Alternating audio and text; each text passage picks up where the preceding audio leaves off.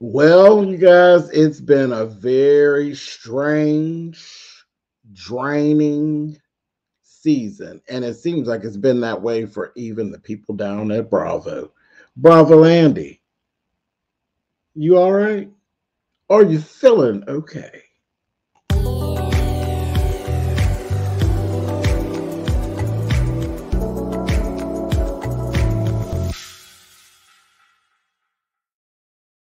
Hey guys, thanks so much for clicking on the video. Listen, it like I was saying, this Real Housewives of Potomac season eight. It's been a very trying season. I fell out of this early on. It, it just got to be draining, and it really was nothing. The the Robyn and Juan thing, the Nneka and uh uh Wendy situation just it wasn't going anywhere. That the worst thing in a reality show is a storyline that's not moving. It's just stale. So Ashley and and and and her husband and, and Gizelle and doggone cat. It, it's just a bunch of stuff that just has not moved. And truly, when you sit and look at the, these people, do not like each other. And I believe that. I believe that is the reality of things. That most of these girls really don't like each other. That's an issue. That's an issue. And I think Andy is up to here with the Potomac girls. Like seriously, when he literally ushered this in, part one. This part one. This is a reunion, y'all. Part one of the reunion. I think there's three parts, but this part one Andy ushered us in telling the ladies, so are we going to, you know, are we going to try to reach some type of resolution? I've never heard him lead in.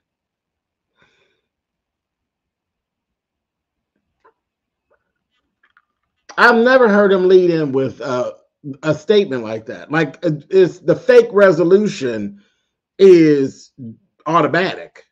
That's that's always been. I mean, even with like shows that are like Love and Hip Hop when they get the fight to carrying on, the the resolution piece is always there. That's part of the reunion. That's what it is. That's what it gives. But anyway, that's how he led in, which made me say, "Is everybody okay? Is everybody okay? Let's do this, because this is a high mark. This is a high mark." As long as I've been watching reality television, I've been watching reality television since it was created I try to think back, guys, at one time when everybody at a reunion got it right.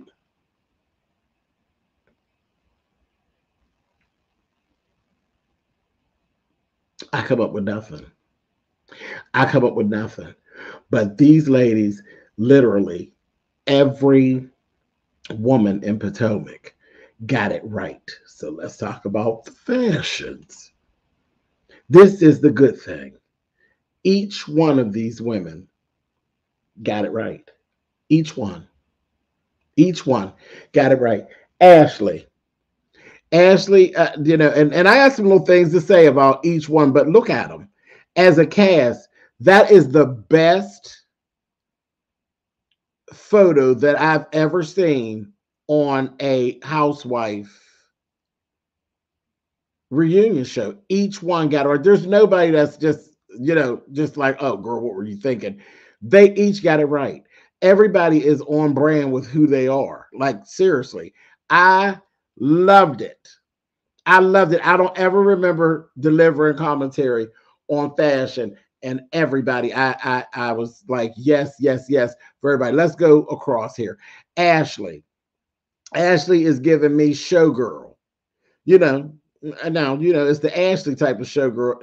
It's Versace you know, it's it's it's showgirl, but it's Ashley, and it works. And I like this hair. I like this hair. This this hair was interesting enough. You know, it, it was cool on Ashley. It looks cheap. It looked like a cheap wig, but it looks like what it is. She's dressed up. It looked like she's playing dressed up. She looks like a Barbie doll. She does. She looked like a Barbie doll. Not Barbie, but Skipper. You know, we'll take that from Ashley. Next to her, Miss Wendy. Miss Wendy, Miss Wendy, Miss Wendy. Listen, I really do love the wet hair look. And the first thing I saw this, I said, I really wouldn't have liked that. I really would have liked some big hair, like a big, something big and full and obnoxious. But then when I looked at it again, I said, you know what?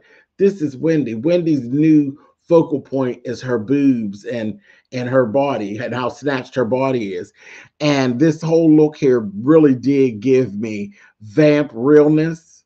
She is giving you Akasha. It's giving, you know, Queen of the Damned. That that whole neck piece, gaudy. It's very gaudy and it's very in your face, but it works. It works. And that is what came to mind. Akasha um, from Queen of the Damned. That's what came to mind first. Next to her, we got Candiace. Candiace looks like a lounge act. This is, it, she just looks cute to me.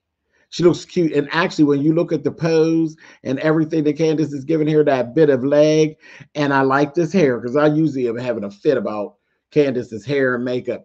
I like this. You look at Candiace real good. She looks like a lounge singer or an old time uh showgirl, you know, like a real showgirl. She's giving me Lola Falana. That because when I look at her at a glance, she looks like Lola Falana standing there. Um, when you get up on it and you see the actual fabrics and things, it's giving a little more. That's right. I'm pleased to meet you. I still want to tell you my name. So it's, it's a little nasty girl, but it works. It it I don't know. From a distance, that gives me Lola Falana. Up close, it gives me a little downgraded vanity. It, you know, it works. It's cool. I think Candiace looks good. I really did like it. Um, next to her, we got Mia. And Mia is definitely going to the prom. She's definitely going to the prom. This is what our girls look like now when they're going to the prom. That you get that dress off of any internet designer, any of these Instagram designer girls or YouTube designer girls, and take your butt right on to the prom. Um, yeah, and that's not a read, that's not a dig. That's just what it gives. This is what I, what the black girls look like when they're going to the prom now, and it's cool. It works. I'm fine with it. Um, very Mia on brand with Mia. You know, she's a little bit much, but not not just not just enough. Next to her is the goddamn goat. Is the goddamn goat. That damn Karen is standing out like a sore thumb, and she literally has stepped into her power and her. See, Karen gets it right more times than not. But this look right here, she stepped into her power. She looks like just what she is, the goddamn grand dame of Potomac. That whole look, that short wig is so bad on Karen. And everything, I loved it. She was definitely my best dressed of the ladies. She's still on trend with what it is they were doing, but just different enough to stand out. And then she's of a certain age and she's killing it. Karen was definitely my best dress. Definitely the GOAT. Definitely the Grand Dame. I'm here for it. Gizelle looks better than she has ever, ever looked. Hair, makeup, dress, fit, everything. Everything is fabulous because last year was a big old fail. But this one, fabulous. You look great, Gizelle. Now, it's Mother of the Bride, but for you, this is leaps and bounds on your brand. You look fantastic, Miss Gizelle. You really do. Robyn is giving me full on drag queen. Robyn, you never know what to expect from Robyn. Robyn can turn a look period. Um, it, it's it's my least favorite of the looks, but Robyn's okay because she Robyn gives me her whole persona is uh loving basketball. She's you know the, the the she's Juan's guy friend that just happens to have a vagina. You know what I mean? So she gives me that that best friend vibe.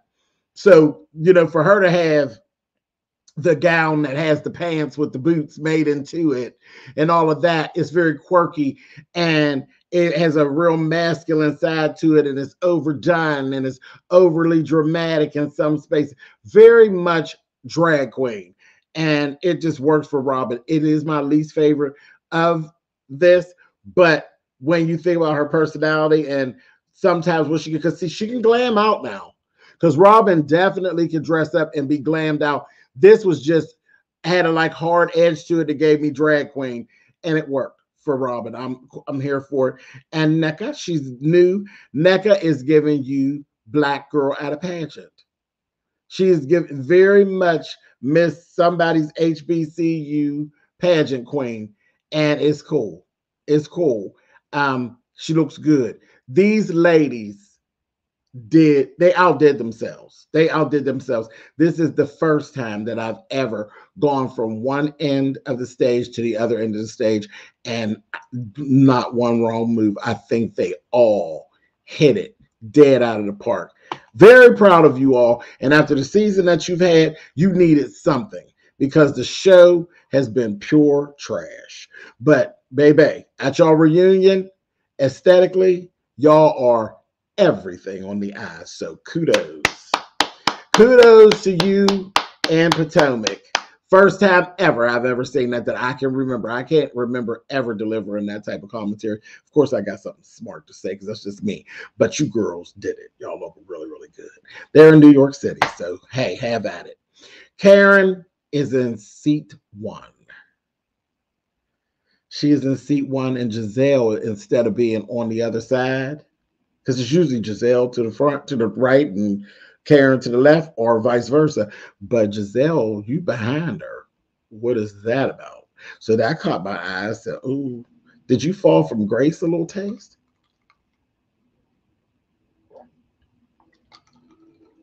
Asking for a friend.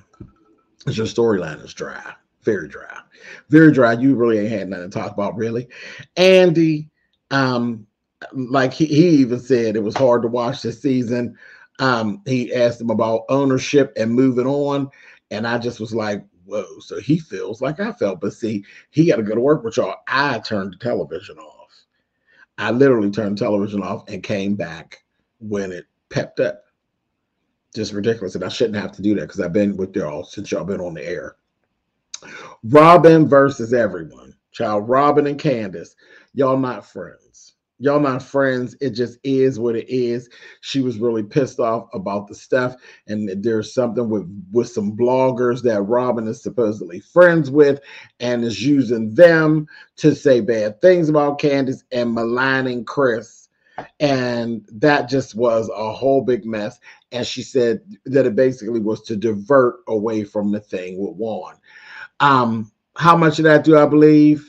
A bunch of it a bunch of it. But Candiace, how mad can you get because you are Real Housewives maven of social media? You are to Twitter what Dr. Heavenly is to Instagram and YouTube for Married to Medicine. You are a thorn in their side when it comes to that stuff. So, child, they got to get you where they can get you. Now, Gizelle and um, Gizelle and doggone Candiace. That thing is a mess. That I don't think is able to be repaired. It's just messed up. But Gizelle was on one. Gizelle looked good. She knew she looked good and she was in her bitch bag. She really was. When she was like, oh girl, here we go. Tears, tears, tears. I said, oh, okay, And uh, uh, that was just a whole mess. Child they were not giving Candiace a bit of wiggle room at all. Um, and when Robyn told her, girl, I don't want to be your friend, honey. I don't want anything from you. I don't need no apology from you. I don't need nothing from you, girl. I don't want to be your friend. Says, well, then don't be my friend then. I'm like, okay, well, you struck out with that whole thing, Andy. Then when you go through the whole thing with Candiace and Gizelle, same thing. Gizelle picking tears, tears, tears. And then she says, Ooh. And she said something called her a bitch. She said, Oh, it's name calling time. Like literally, Gizelle was so above it and so in her bitch bag. She was like, Girl, I'm not going to show you any emotion. I'm not gonna get down there with you. I'm gonna let you make a fool out of yourself because you all emotional and you carrying on. And the thing is that I really don't care. I'm like, wow. So then they went into this whole thing about the verbiage that was being used and how damaging the verbiage was when it comes to the Chris thing and Gizelle. And yes, they pointed out some of that verbiage that Gizelle used to really push forth, like Chris had been inappropriate with her. And she apologized for some of it and walked some of it back. And Candiace still was just like, you know, well, girl, that's fine. But I'm not going to take responsibility for the death threats that you got because, you know, we all get them. I'm like, now, Candiace, that's shady because, yes, y'all all get death threats. Yes, y'all all get trolled and everything like that. But that stuff was directly involved with that whole thing about the, you know, the putting that jacket on Chris kind of thing. So if she got to eat up what she said, you kind of could eat up some of what you created because you did. You were down on social media and you created that drama. But whatever. Y'all played nasty games with each other. And I think that's why I don't think y'all could go back. Y'all went too far. Y'all too far out in the water. Y'all can't go back. Um, Mia. I wouldn't be friends with Mia for nothing in the world. Mia has shown us here that there is nothing that she won't bring. She's perfect for, for a reality show because there's no one in her life that she holds dear or nothing in her life that she holds dear to the point where she won't put it on camera. Okay. Last year it was Jacqueline, honey, and they asked her about Jacqueline and she, oh, yeah, child, we better now. So all that turmoil was really about what? Because remember, we got one of Jacqueline's sisters that float down here around in the YouTube streets and no matter what game Jacqueline and Miss Mia might have been playing on screen, family members wasn't playing that same game. The sister was pissed. So and that was real. Now that that's where the camera should have been because Jacqueline's sister was pissed and was ready to put some hands on Mia. So I'm like, girl, and then here we go. This season, you'd have flipped over with the whole thing about the um the situation with you and Jacqueline, that's gone. Now it's you and Gordon, and this divorce and and and all of this, and there's a lot of this stuff that probably shouldn't even be shared. You know, y'all got paperwork's running. Now there's a, another boyfriend, and then you know them two is so weird and so out there with their sex life that at first it seemed weird to me how like she was when they were on the break, she's all on the phone with the boyfriend on FaceTime and he waving at Gordon. And the more we go into it, we figure out that she basically always had him. He never went nowhere. They just kind of like split up. And then she had actually dipped back in and has cheated on him with with uh he cheated on Gordon with this guy. And now her and the guy are together. His name is Ink. They are actually together. He's from her past. Um, and it's gone so far as well, she dropped out of there and said that the baby the oldest baby, Jeremiah, may actually be Ink's. Ink believes that Jeremiah is his, and he's kicking up some dust about that. And I'm looking at Gordon like, you done sold your whole soul to Real Housewives of Potomac. But little do you know, Real Housewives of anything ain't about the husbands. You're like a bracelet. You're like a belt. You're like a purse. You're interchangeable. If you don't come back, nobody cares. Mia coming back is the important thing. She is the star of the show. You are her accessory. So to put yourself out there in this manner, G, you look foolish. You look foolish. You look crazy. You're on here with your wife and her boyfriend, and y'all chucking it up. And hey, how you doing? And she been messing around with him since y'all been married, and now he's coming for one of the kids, and you look crazy you look crazy. Ain't nobody that calm. You just look crazy. Or it's that same stuff that when y'all first introduced us to y'all was kind of like freaky and she kind of had passes and stuff. Like, where you do you work the light switch for them? And then, you know, she with the bullshit when she said, Oh, yeah, you know, I never let our kids see mommy and daddy argue. But there was a whole comment about one of the kids said that she was sleeping in the bed with Mr. So and so. I said, So they ain't allowed to see you argue, but they allowed to see you lay up with your man. What? See, y'all do too much. Y'all do too much. And Gordon, you look crazy, Gordon. You too old for that. You look crazy. Um, last thing I'm gonna talk about Karen and Robyn. That just throw it in the garbage. Just throw the whole situation in the garbage. Um, when they were trying to do some some patching up with them, Robyn kind of stepped out there and you know said, "I do take responsibility for some of the things that I did and some of the things that I said, and I can say three nice things about you." Child Karen went to go supposedly say some nice things about Robyn. Child, she threw some shade at her, and then they got to arguing. I said, Karen, there is no Karen and no Robyn. They just don't get along. That's where the problem is with this. It's too real.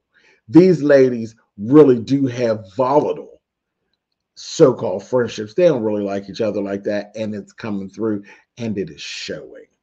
It is showing. I'm gonna end this right here because that's really all that we actually had for the first part of this. It wasn't bad. It really wasn't bad. It's been much better than the whole show. That's for sure. So we'll see what next week brings. But um, yeah, Potomac, pretty rough season. Pretty rough season. But y'all got the fashions down, baby. You said y'all might not have performed good, but you damn sure look good. See y'all next week.